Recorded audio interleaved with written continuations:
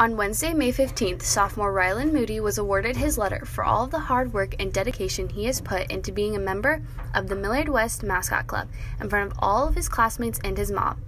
Um, I was really surprised and wasn't expecting it. And Rylan has exemplified Millard West Wildcat style and pride and has certainly made an impact on all of the athletes and fans alike for the past year and a half. Rylan's brother I know is involved with athletics and you know so Rylan's been around it a lot. So him being able to be involved as well like as a mascot I think has just provided him the opportunity for involvement.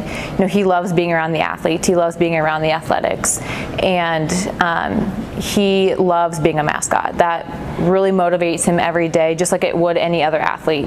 And so he takes pride in what he does. Um, he's committed, he's dedicated um, and I think most of the athletes will tell you how much they appreciate what Rylan does.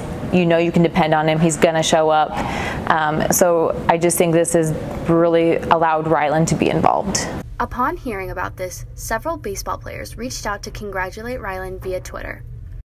No, he definitely deserves it. I mean, the things he does might be minor to some people, but the support he brings to, to me especially, makes my day every day. So he definitely deserves it. This has been Madeline Augustine and Brianna Treader with MWHS Wildcat News.